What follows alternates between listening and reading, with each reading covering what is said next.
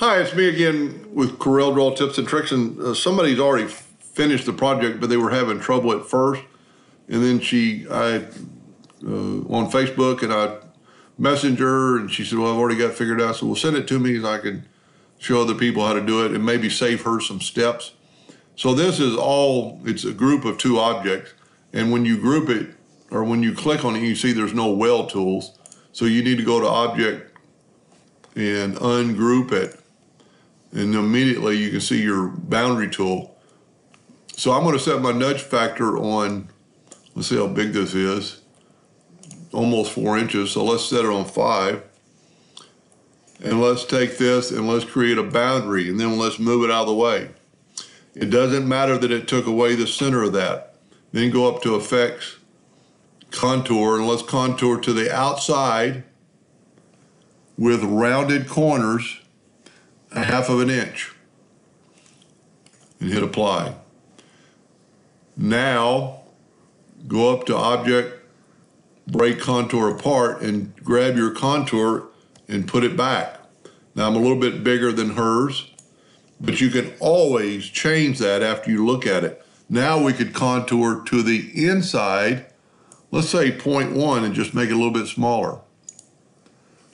Go up to object, break contour apart, click on the outside contour, and delete it.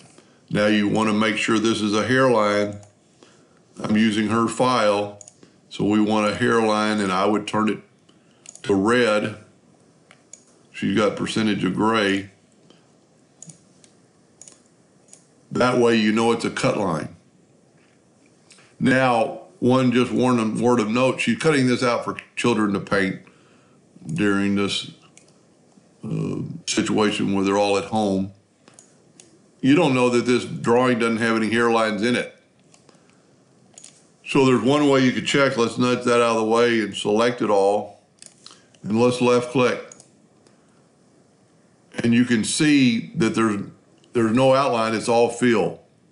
So we can put the fill back, just back up.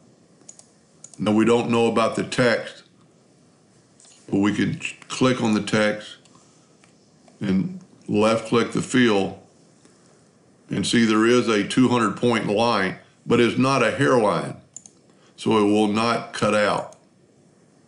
Now there is a hairline, but you just need to move it or uh, undo tool and just undo that till you get that back and then just move your hairline back.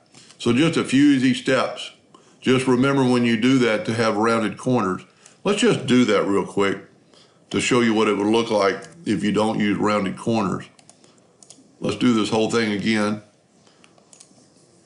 Put a boundary, move out of the way. This time we're going to go to the outside, that 0.5, but we're going to use square corners.